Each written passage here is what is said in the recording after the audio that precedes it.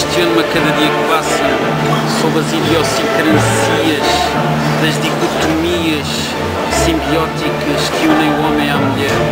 Por certo, poderá pensar o prezado profano que aquilo que digo serão meras palavras ocas, mas não tem significação potente, poderosa, brutal.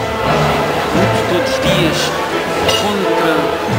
os maquiavélicos, despóticos, maçónicos norte-americanos que me incutem na alma sensações desesperantes, mas continuarei a escrever, continuarei a lutar contra todas as forças satânicas provenientes do novo mundo que me impedem o ato de grafar os sentimentos na carne, no papiro divino, num diário, no espaço cibernético, através de teclados alfanuméricos Escreva em movimento, escreva como vai na mente, escreva como um dormente como vai no pensamento, escreva com pouco contentamento, escreva aquilo que é premente, aquilo que arde e ardente traz dor e isolamento.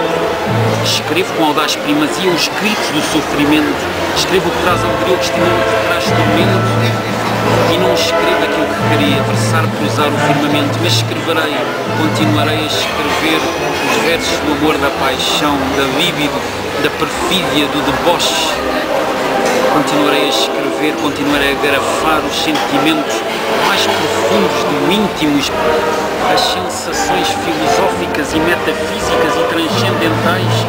Continuarei a grafá-las nos papiros cibernéticos divinos, onde sinais digitais que oscilam entre 0 e 1 um, se mantêm num estado latente nos servidores de um computador alguns no mundo e cujos acessos estão para qualquer um, qualquer cibernauta, qualquer utilizador do, universo. Continuarei a escrever e a grafar, os pensamentos têm de ser grafados e as palavras têm de ser gravadas.